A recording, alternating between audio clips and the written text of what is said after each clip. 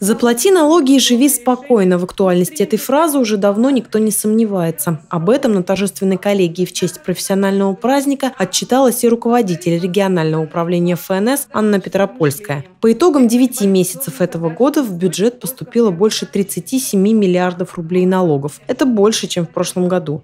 Рост поступлений отмечается по всем основным видам налогов. По налогу на прибыль 5%, НДС 7%, налог на доходы физлиц 5%, единый налог взимаемый в связи с применением упрощенной системы налогообложения 17%.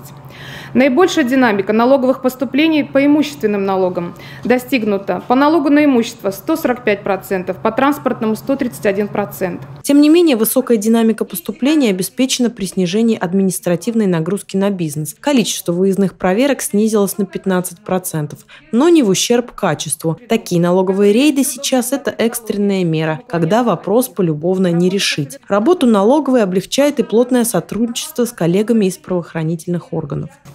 Так, за 9 месяцев 2019 года ходе семи совместных проверок с органами внутренних дел дополнительно поступило в бюджет более 20 миллионов рублей.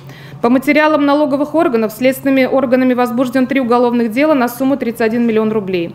С использованием информации, поступающей из таможни, дополнительно начислено 97 миллионов рублей.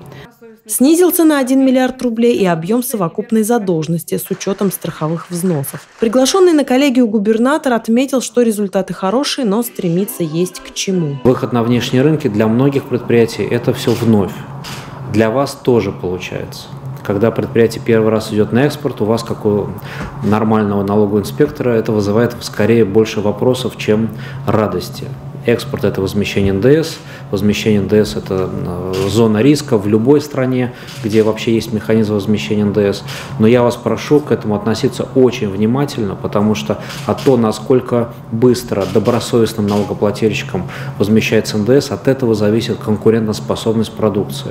И напоминаем, до истечения срока уплаты налогов на свое имущество остается неделя. В первую очередь речь о налоге на квартиры и прочую недвижимость, также земли. А еще налоги на автомобили и другие транспортные средства. В 2019 году уплачивается налог за 2018. Чтобы не начислили пени, постарайтесь решить вопрос в срок. Мария Смирнова, Денис Денисов, РТВ Иванова.